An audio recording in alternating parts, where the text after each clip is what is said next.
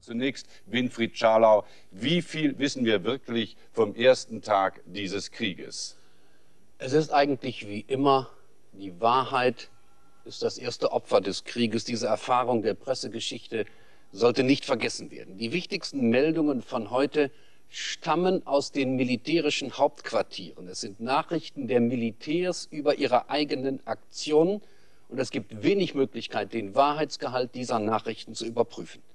Außerdem mag es wichtige und große Komplexe der Realität geben, über die heute überhaupt nicht berichtet worden ist, die noch verschwiegen werden. Das Bild wird erst klarer und auch wirklich glaubwürdiger, wenn Nachrichten und Bilder auch von Journalisten gesammelt und ohne Zensur verbreitet werden dürfen. Soweit ich sehe, liegen solche Informationen aus journalistischen Quellen bislang über den Tag heute nicht vor.